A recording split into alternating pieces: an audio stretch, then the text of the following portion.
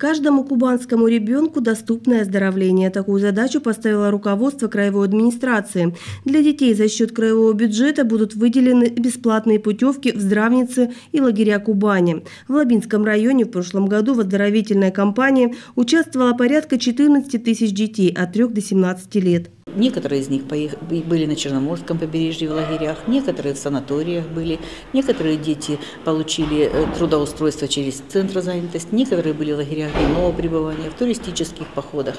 И все управления нашего муниципального образования использовали, использовав средства муниципальные, краевые и федеральные, э, работали на оздоровление наших детей нашего муниципального образования.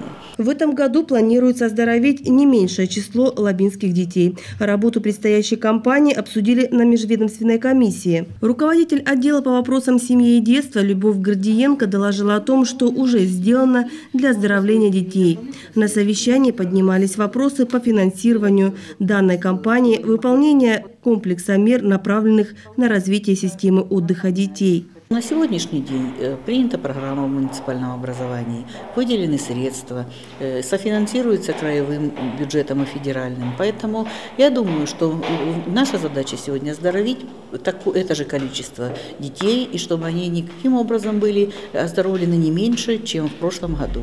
И чтобы все детки наши были в течение года получили какой-то из видов оздоровления. На проведение детской оздоровительной кампании в 2012 году из краевого бюджета выделено около 2 миллиардов рублей. Из них львиная доля направлена на Лабинский район.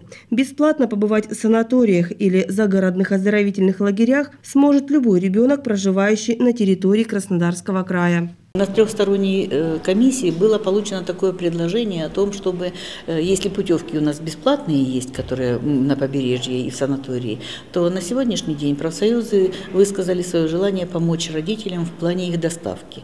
А для того, чтобы их доставлять э, всем вместе, сегодня мы решили на комиссии, что профсоюзы поработают и организуют группы со своих предприятий, чтобы их потом целенаправленно можно было отправить с этого же предприятия.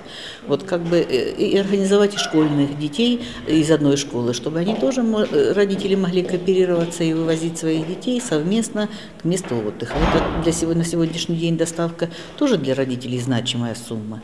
Поэтому вот эту проблему решили вот таким образом сделать и помочь родителям вывозить детей централизованно. А для тех, кто не сможет побывать в здравницах Кубани, местное руководство запланировало массу альтернативных мероприятий для детей. Только в Лабинском районе в этом году начнут действовать более 30 лагерей дневного пребывания. За сезон в Мечте и Робинзон пройдут оздоровление 6 профильных смен. Летом начнут снова работу детские дворовые площадки. Для школьников будут организованы туристические походы.